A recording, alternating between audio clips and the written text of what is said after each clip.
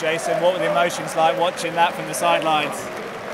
No, I felt we played well tonight. You know, our performances haven't been particularly great of late, but we've got the results that we, we really wanted.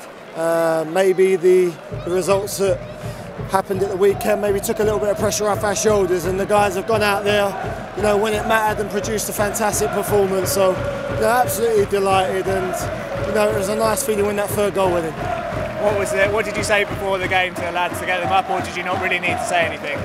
No, we just said we wanted to see a real Bournemouth performance tonight, uh, and a real Bournemouth performance tonight is front foot, pressing really hard from the front and passing the ball. Uh, and you know, I, I, felt for the majority of the game we, we did that really well tonight. What a night it was! You've never seen anything like this, have you? Here? Never seen anything like it before, no. But you know, it's been an incredible journey.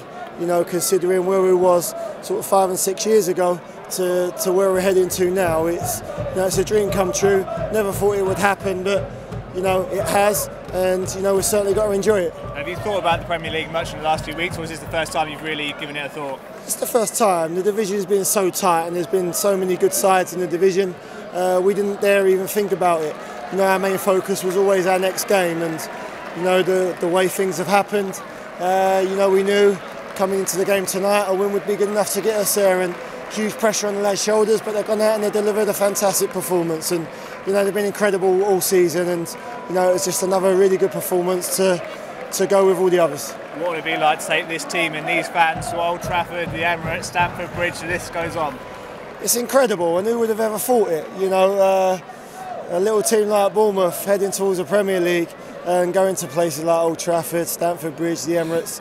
You know, incredible when you, when you, when you say it like that incredible achievement and just so proud of everybody at the football club. Cheers, Jason. Congratulations. No Thank you.